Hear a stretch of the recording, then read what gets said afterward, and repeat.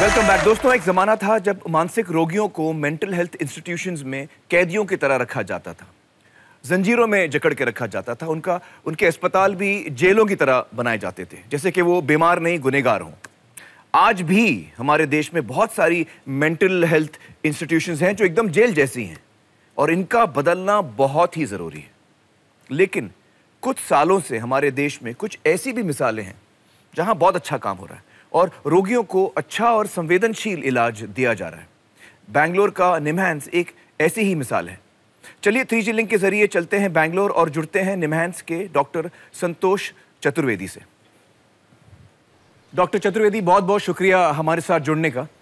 निमहैंस में पेशेंट्स को ट्रीट करने का आपका क्या तरीका है? देखिए, यहाँ पर हमारे राष्ट्रीय संस्थान में तकरीबन सब तरह की सुविधाएँ उपलब्ध हैं। मरीज़ के साथ में उसके रिश्तेदार रहते हैं। इससे क्या फ़ायदा होता है कि एक तो रिश्तेदारों को उनकी देखभाल करने में सहायता मिलती है, उनको पता चलता है घर जाके कैसे देखभाल करनी है।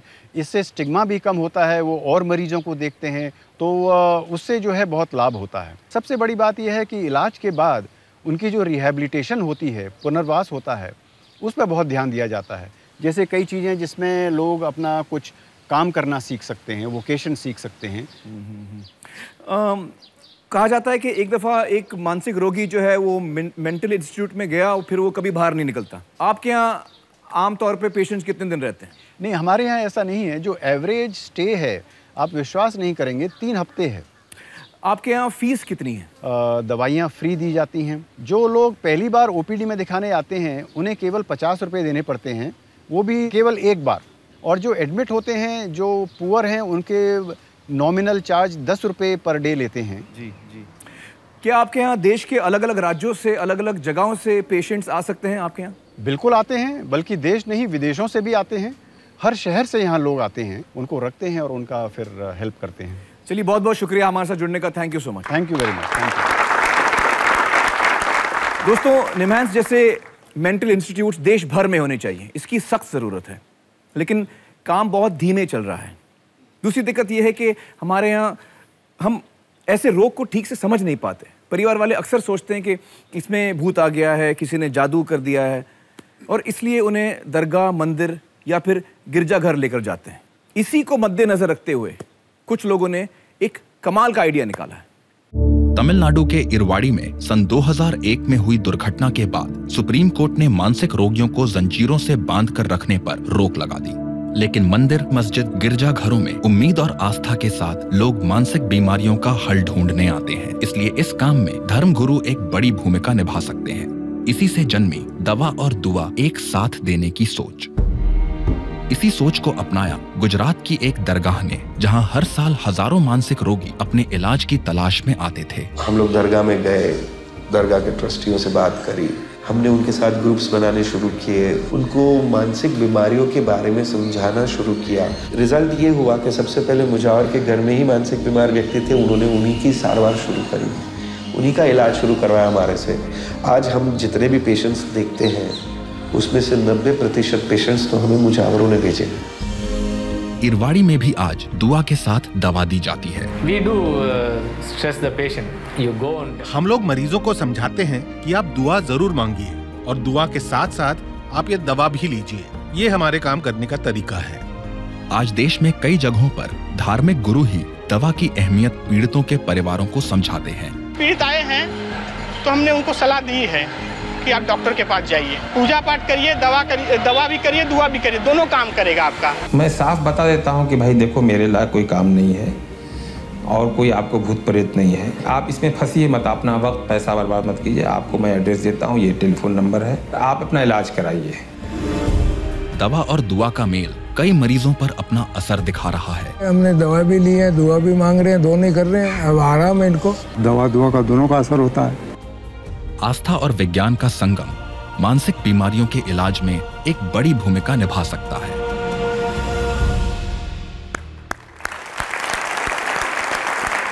दोस्तों हमारे साथ मौजूद हैं सिस्टर लूसी कुरियन पंडित शंभुनाथ शुक्ला और सैयद हाजी साहब। बहुत बहुत शुक्रिया आप तीनों का यहाँ पर आने के लिए। हाजी साहब आप अपने दरगाह में दवा और दुआ ये प्रोग्राम चलाते हैं। हाँ। तो अ, कितना आप लोगों को मदद कर पाए? कितने क्या रिस्पांस आया इस चीज़ का? मैं वैसे मदद तो करने के लायक नहीं हूँ मगर जुबानी तौर पे सब मदद तो अल्लाह की तरफ़ से ही होती है। जी जी। मगर फिर भी मैं जिस जगह पैदा हुआ हूँ जहाँ खिदमत गुजारी कर रहा हूँ वहाँ बहुत से तकलीफ़ जदे आए और पहले जब मैं छोटा था जवान जवानी का आलम था जी। तो काफ़ी लोग संगली से बांधते हुए थे। तो मुझे दिल में ऐसा होता था कि ये ना होना चाहिए। चेन से मानते थे? हाँ। मैं छोटा था तो मेरी इतनी ताकत तो नहीं थी कि मैं लड़ सकूँ सबसे। मगर जहन में ये बिठा के रखा था कि मैं इसको ख़त्म करके रहूँगा। फिर ईरवाड़ा में बंस हुआ जो अभी देखा हमने। जी जी जी। उसके बाद में वुमेंस राइट और सुप्रीम कोर्ट के नामदार जज आए। तो उन्होंने बोला कि भाई यहाँ चेंज बाँध चैन बांधना। मना है। और मैंने विद इन टू मंथ के अंदर बंद करवाया जब मैं एज ए चेयरमैन था दरगाह ट्रस्ट में। तो इससे बहुत फ़ायदा हो रहा है लोगों को? हो ही रहा। तो आँखों देखी बात है और आज सबसे ज़्यादा अगर कोई खुशी होती है तो मुझे होती है। कि इंसानियत का भला हो रहा है बस। जी जी बिल्कुल सही कहा आपने। पंडित जी बहुत सारे लोग अ, मानते हैं कि ये तांत्रिक विद्या से ये चीज़ें ठीक हो सकती हैं या झाड़ फूक से ये हो सकता है तो आप उनको क्या समझाते हैं? हम तो झाड़ फूक के बारे में उनको बताते ही नहीं।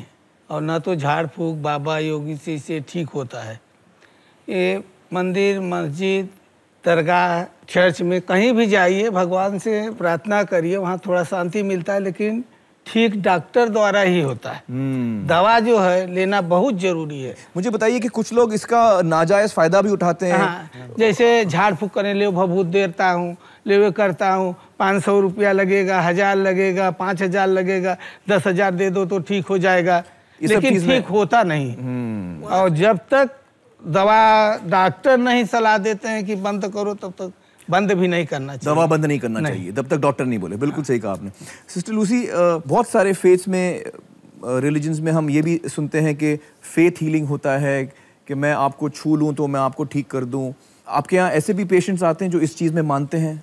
हाँ बहुत सारा पेशेंट्स ऐसे आते हैं कि उनका विश्वास है हम चर्च में जाएँगे तो हम ठीक हो जाएँगी। बहुत पेशेंट्स ऐसा भी हैं बिल्कुल औषध लेने के लिए तैयार नहीं है। और हम लोग ने उनको हलू हलू बोल के तैयारी करना मांगा। धीरे धीरे उनको तैयार किया। हाँ क्योंकि उनका इतना विश्वास है उसके ऊपर हम लोग एकदम से जाके बोलेंगे तुम चर्च में जाएँगे तो कुछ होने वाला नहीं है। बोले ऐसा गुस्सा से बोल देंगे तो उन लोग और ये ज़्यादा जाएँगे होता है, टूट जाएँगे। एक बार ऐसा हो गया था एक एक औरत हमारे पास आई थी वो- औषध लेने के लिए थे शायद वो बोल रहे थे मैं फादर के पास जाएँगा तो ठीक रहेगा। और मैंने फादर को बोले फादर आप क्या कर रही हूँ? उनको बता देना दवा चाहिए चाहिए हाँ, हाँ। तो फादर को मैं हलू काउंसलिंग किया पीछे से फिर फादर ने उसको वो तरफ़ से लेके गया और बता दिया बेटी तुमको दवा लेना चाहिए। दवाई भी लेने का ज़रूर है। तो एक बार फादर बोलने के बाद उसको विश्वास बैठा हाँ मैं अभी करेंगे। चलिए आप तीनों बहुत ही बेहतरीन काम कर रहे हैं और इससे बहुत सारी जिंदगियाँ बच रही हैं बहुत सारे लोगों को फ़ायदा हो रहा है। बहुत बहुत शुक्रिया हमारे साथ बात करने का। थैंक यू सो मच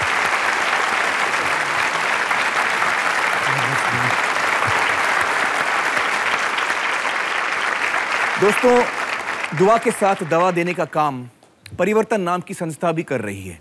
इसके अलावा हाफ़ वे होम्स और community based mental health rehabilitation इस प्रकार के कई काम परिवर्तन देश के कई राज्यों में कर रही है।